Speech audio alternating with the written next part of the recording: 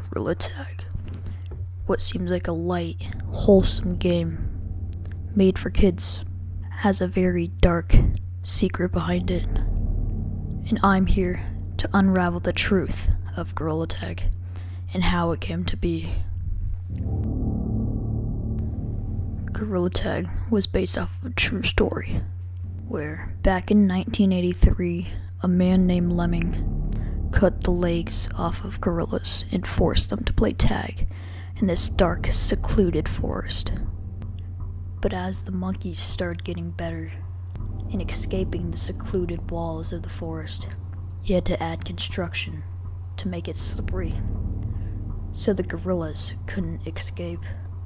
And this is why you shouldn't play gorilla tag at 3 a.m. Don't be blind to the truth. Goodbye.